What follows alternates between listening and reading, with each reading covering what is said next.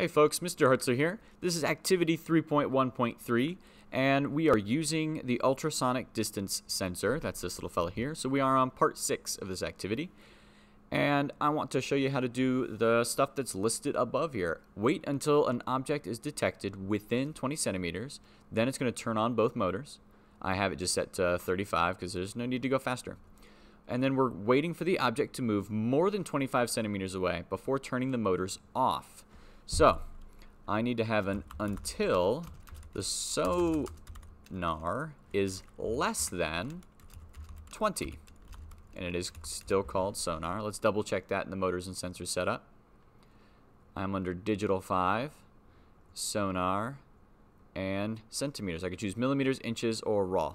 So centimeters, hit OK, should be 20, and sonar. Good. Now I want to wait until the sonar is greater than 25 and it's still called the sonar. It's still in sonar. Okay. So until I am less than 20, so once I am actually less than 20, so let's say 16, then I'm going to start both motors. And that's going to happen until I'm greater than 25, so let's say 30. In that case, I will stop both motors. Let's compile the program, download it to the robot, and then let's take a peek at some stuff. The sensor here looks like a little set of speakers, and it kind of is. It puts off a signal, and then it waits to hear those signals back. And you'll see down here sonar. Right now it's reading a 39. So what's happening in our program right now? Well, absolutely nothing, because I'm not less than 20. If I'm still greater than 20, nothing's going to happen, because it's not even going to read this first line of code. So now I stick my hand in here, way up top, and I start moving it down. 30, 28, 23. Now I've hit 20. Now I've hit 20. What's going to happen in the program?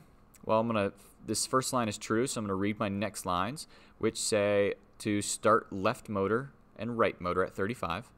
And that's going to happen until I am 25 centimeters away. So I have to move back up now, and right now I'm at uh, 27. So at that case, I will read my next line, which is stop motor.